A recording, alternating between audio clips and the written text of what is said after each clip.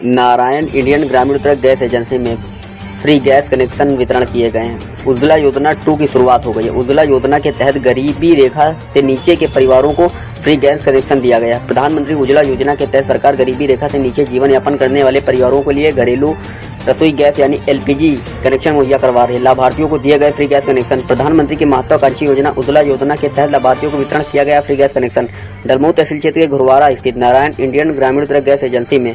कई लोगों को वितरण किया गया फ्री गैस कनेक्शन वहीं गैस कनेक्शन पाकर महिलाओं के खिले चेहरे।